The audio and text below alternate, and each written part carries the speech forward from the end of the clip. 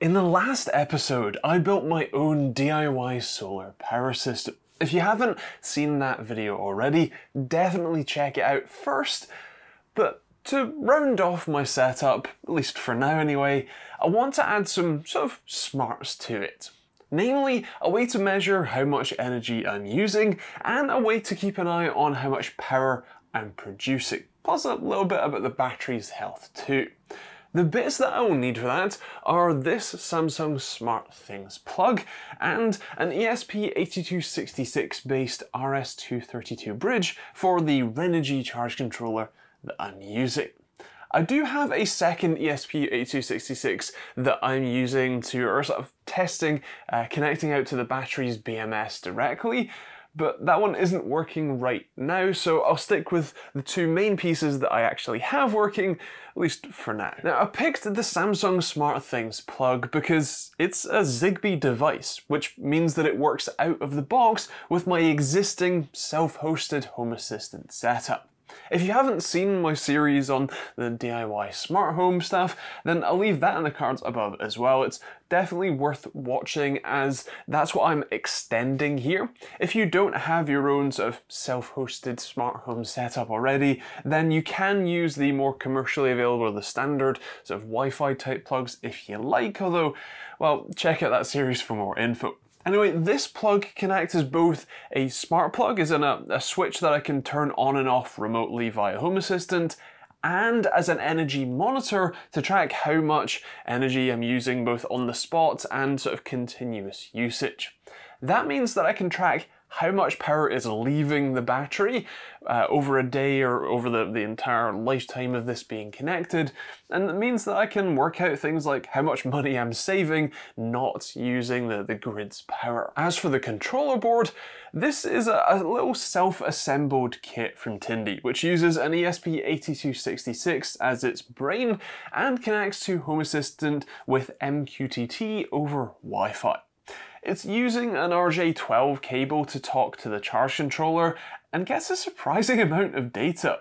Everything from the charging current to the battery to the power from the panels. It'll even report the battery and controller temperatures and a load of other stuff too. This will be really useful to track how much power I'm generating and should even be good to let me say automate things like notifications for when the output isn't great and I should probably move some stuff off the solar power system to, you know, not completely drain the battery. As a note on the BMS controller too, I'm using ESP Home to connect uh, the 8266 boards uh, to the UART port on the, the BMS.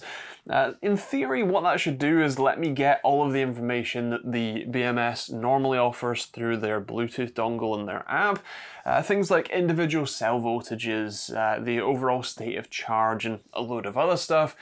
But unfortunately, basically the, the, the chip that's on the battery management system board itself that handles that communication isn't sort of strong enough, if you like, to communicate with the ESP board on its own. So I bought a little isolator sort of repeater type board that should solve that issue. I'm just waiting on that being delivered and I've already taken weeks to get to this point so I thought I'd uh, make this video and you know I can uh, do updates in the future if you're interested in that setup too. So now that I have both of those things actually in hand and functioning, Setting up the, the, the, SmartThings plug is super easy. You just adopt it like any other Zigbee device through Home Assistant. The RNG bridge was a little bit more difficult. I did have to solder that board together as it comes as just a PCB and all the parts you need. And I also had to rewire my own RJ12 cable because, well, it turns out that all of the commercially viable cables have crossed pins, which made my ESP module blow up. So, um, Woo! Uh, after a replacement one arrived, uh, I did end up getting it working. Now, just being able to see the instantaneous usage from the SmartThings plug is actually really useful. Knowing not to put the AC on at the same time as the dishwasher, just to not overload it, is nice. It's also just nice to see how much, you know, power you're using at any time, but the cumulative count that it gives you is arguably the more useful metric, especially for knowing how much money I'm saving here. So let's fire up Node-RED and automate a flow to calculate the cost savings based on the current price of electricity and the accumulated usage. I'm, I'm sure that there's a, a more sort of conventional way to use Node-RED for this, but I'm perfectly comfortable programming in JavaScript, so I'm just going to use the function block and I'll save you the effort of explaining this mess of code that I guarantee you could be done better, but hey, it works, so whatever. But basically, I'm outputting four different metrics. The total cost savings, the total usage, the daily cost savings, and the daily usage. It takes into account the current price of energy and the upcoming change, and will sort of count the total price based on both the current price at the time, you know, up until the end of September, and then separately we'll also count the new price once that comes into effect.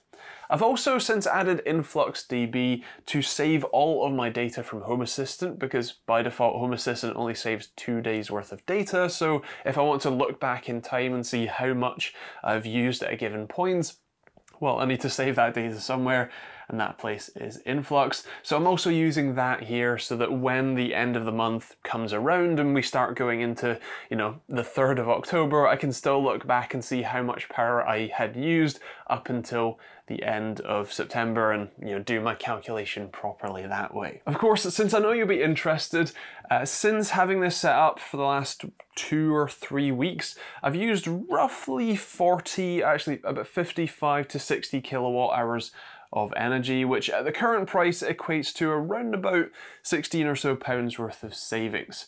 Uh, I'm looking to uh, you kind of bring that up a bit. I've been quite slow in adding uh, new device or adding loads to the, the system uh, while I sort of monitor it. Now that I have these monitoring things available and I don't have to walk out to the shed to check, you know, what the, the battery percentage is at or what voltage is at, uh, I'm going to be adding a few more loads and making better use of it. Equally, I expect that during these you know upcoming winter and colder and darker months, I'm less likely to make as much use out of it as when it gets to summer, as especially since my AC is hooked up to that.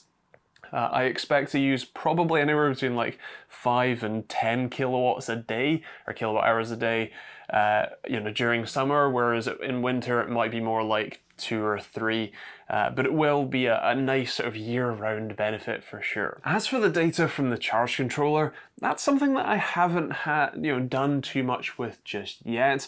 Uh, it's also something I've only had set up relatively recently and actively working, so I will get to some stuff. Uh, one of the things that I'm thinking of is sort of monitoring the production and uh, usage throughout the day, and then I can send a push notification to my phone if the production isn't exceeding the usage, as in the battery isn't being charged enough to, you know, run overnight. It could also be used to tell me if the battery is full during the day, and so I can, you know, add more loads onto it or swap more loads onto, you know, off of grid and onto solar to save a bit more. Um, if you have any ideas for what I should do with all of this, you know, kind of crazy amount of data, definitely let me know in the comments down below. So that's a brief look at adding a little bit of smarts to my DIY solar power system. There is plenty more that I want to do, but I think I'll leave it there for now. Like I said, if you have any suggestions for things that I should do with all of this data, then definitely let me know in the comments below. And definitely check out both the and uh, the earlier videos in this series and the DIY smart home series if you're interested in setting, well, either of these things up. If you want to check out the Samsung SmartThings plug that I'm using or pick one up yourself, I'll leave a global Amazon affiliate link in the description for you. I'll also leave a link to the RS232 uh, bridge board that I'm using. Uh, that's from Tindie, and uh, the creator of it was uh, very helpful on his Discord when I had a few issues, so thank you very much. Uh, also, I did try using an RS 485 board on the uh, RJ45 connection from the charge controller, but that one didn't work from mine. I think it's meant for ePever uh, charge controllers or whatever. I'll leave a link to that one in the description as well if you're interested. If you want to see more videos like this one, or probably not quite like this one, you can hit the subscribe button and turn on the bell notification icon. You can also check out plenty of other videos on the end cards they pop up. And if you want to support the channel and my uh, lunacy, then you can uh, become a YouTube member, become a patron, or pick up a hoodie or t-shirt like this one, or a load of other designs that I made myself. Or there's other affiliate links in the description for places like Overclock UK if you're buying from there. Otherwise, that's kind of it. Thanks for watching. Hope you enjoyed it. We'll see you on the next video.